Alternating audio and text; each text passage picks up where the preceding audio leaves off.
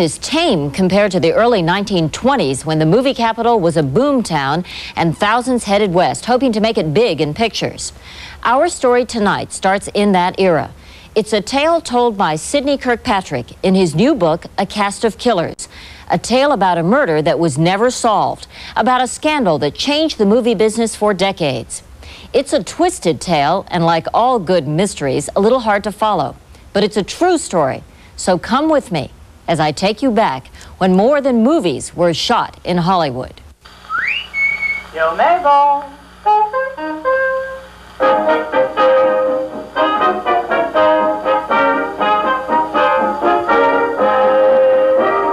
The year is 1922. The movie business is a smashing success. The name Hollywood has come to mean light and magic for an entire nation. Movie crews are bustling, ready to churn out thousands of feet of silent film.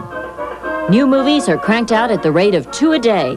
Hollywood's future is as bright as the Pacific horizon. But that's about to change.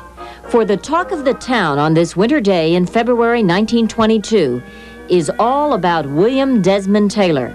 He's the hottest director around and he's president of the New Directors Association. But that's not why they're talking about him.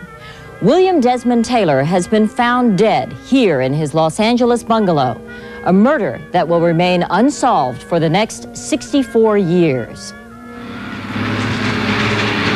The director's bungalow was torn down in the mid 60s. People now park and shop on the site where Taylor's body was found. His death and the effect it had on the movie community are all but forgotten.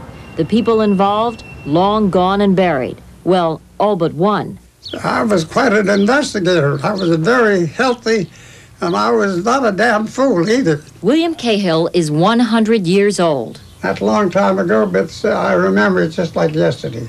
What did you find when you first arrived at the murder scene? Well, I found several people that didn't belong there. The, the reporters were kind of piling in there, so I fired everybody out. And I kept everything clear.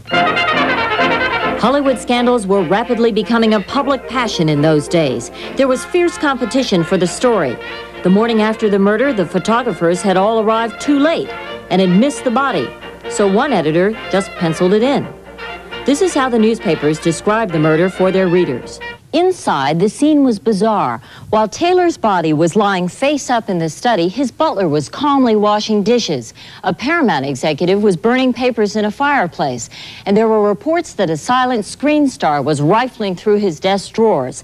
All of a sudden, a mysterious man who claimed to be a doctor came in, examined the body, and declared that Taylor had died of a stomach hemorrhage. The butler quickly said, Oh, yes, I just bought him a bottle of milk of magnesia yesterday. And the Paramount executive and the silent screen star reportedly chimed in, Oh, Taylor always suffered from stomach trouble. All of a sudden, the doctor disappeared.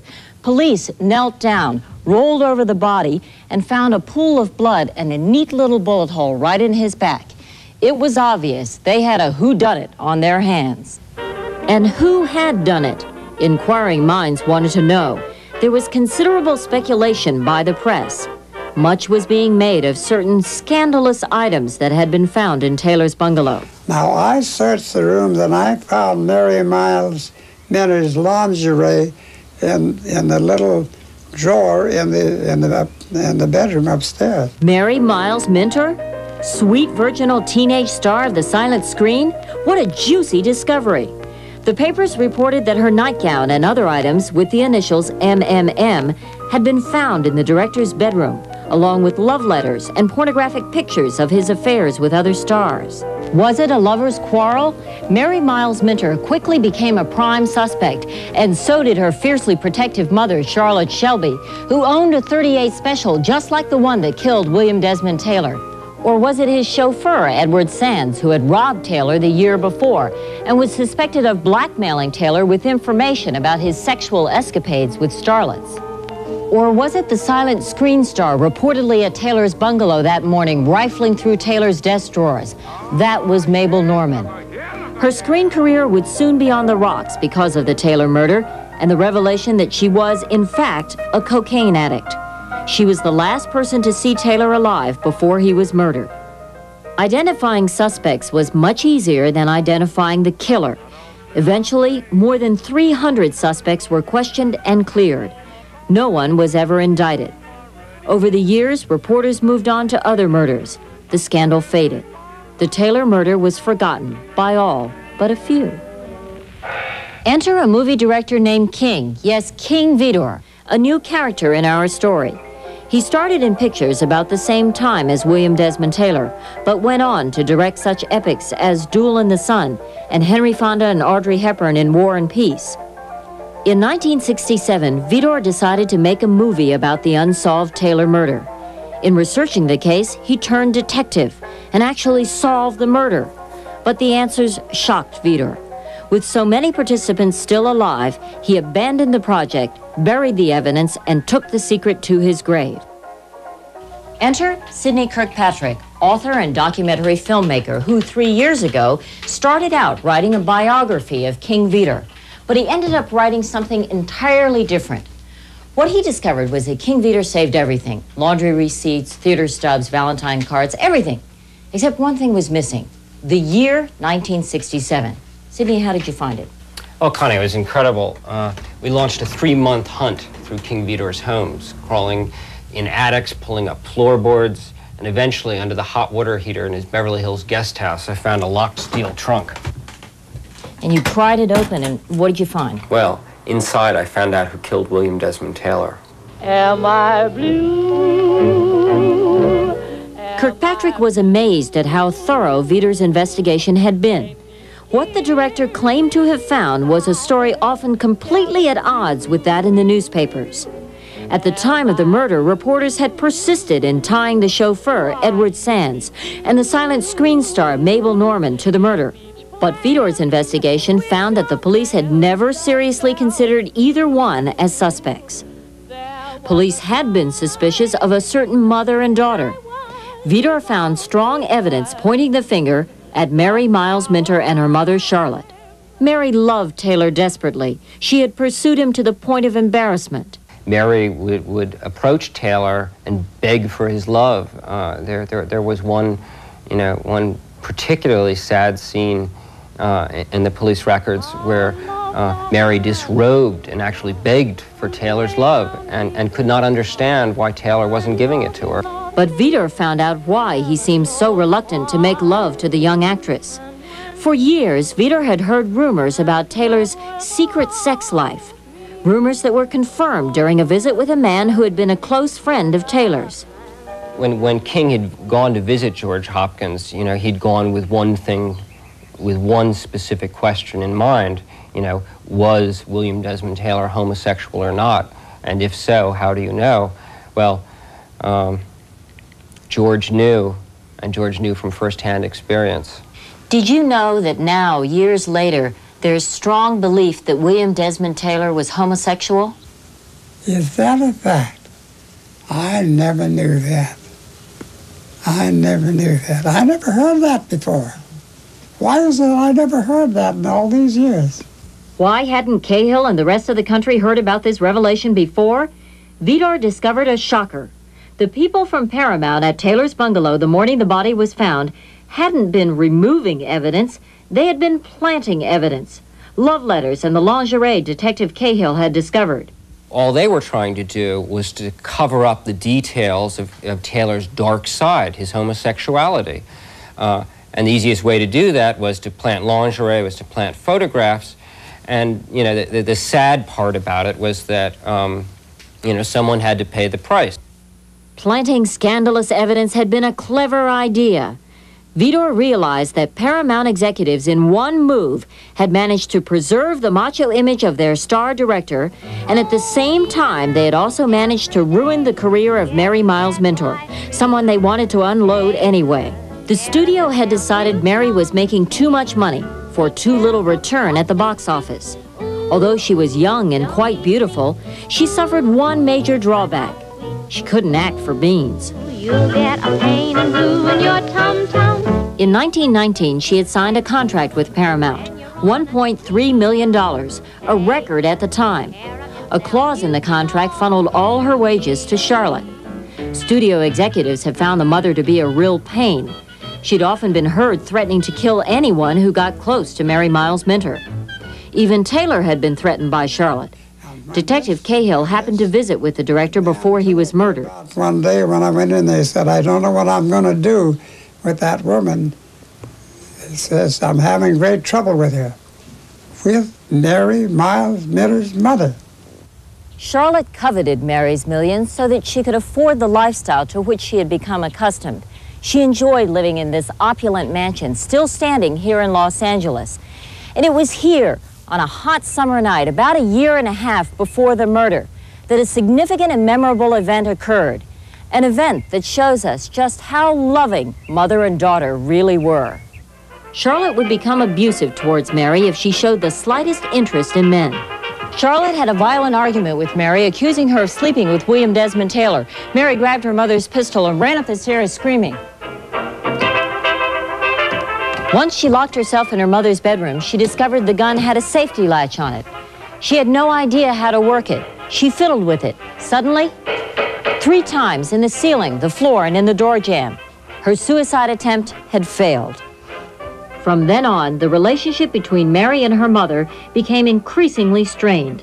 As Mary Miles Minter's career was going down the tubes, Taylor's directing career was rocketing, one box office success after another. Mary, apparently unaware of Taylor's secret sex life, clung to the hope that he would marry her, thus rescuing her from the iron claw of Mother Charlotte.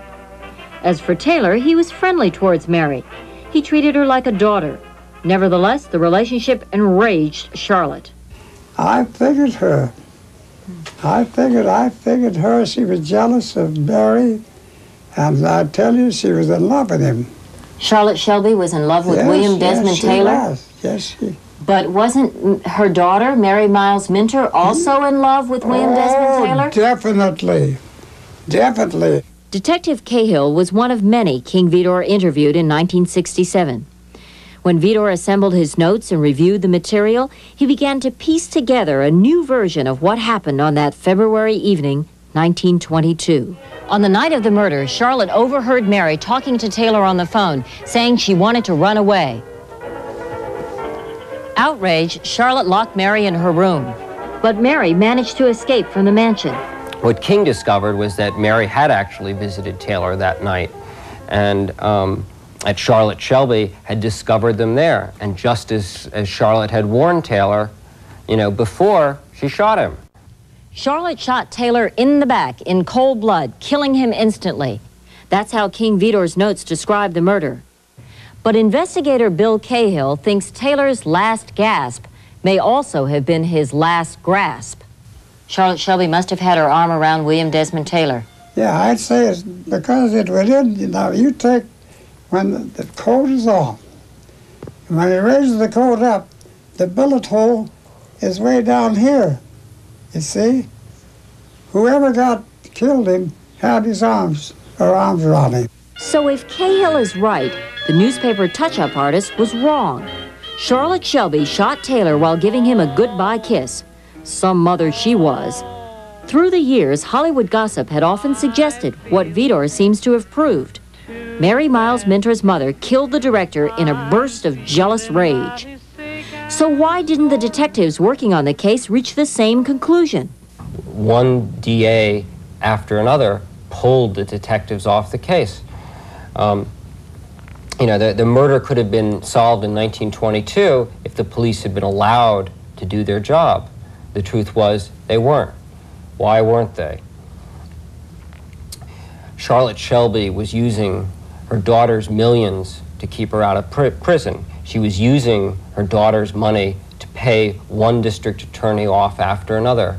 Do you think it's conceivable that the district attorney was on the take? I think the district attorney knew all about it. I think he knew whatever transpired, I think he knew all about it. He knew that Charlotte I Shelby. think they closed it right up. Because she was turned loose not very long after that. Something had to happen. The shot fired that night ruined several lives. According to the book, the chauffeur, Edward Sands, committed suicide six weeks after the slaying. The shot ended the career of Mabel Normand, Queen of Comedy. She died in 1930. Apparently, her death was due to drugs. Charlotte died in 1957. There was a funeral. But in a final bizarre twist to this strange tale, Charlotte may not have died in 1957. She may have lived on, a captive of her daughter, all in an effort to avoid death row. At the time Charlotte was supposed to have died, she and daughter Mary had been living here in Santa Monica. George Noonan was a close friend of the family. I came across a letter that was written in 1960 to uh, Mary's mother, and it had to do with uh, a doctor taking care of her. And the doctor said that, um, you know, uh, why didn't she just quit the charade, so to speak, and just, you know, let everyone know that she was alive and that, that she was being attended to by a doctor and whatever.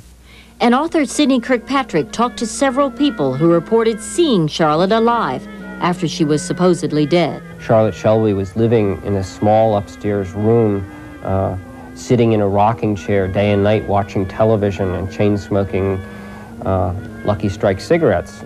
Um, if you go in the room right now, um, it still, still reeks and still smells of Lucky Strike cigarettes. I'll tell you that. The Minter house is empty now. Mary died two years ago alone. In the end, the petite star had become horribly obese. But those who knew Mary say her life really ended the day William Desmond Taylor was killed, the day she lost any hope of ever escaping from Charlotte's web. On his final visit with Mary, as King Vidor got up to leave, Mary, close to tears, blurted out these words My mother killed everything I ever loved.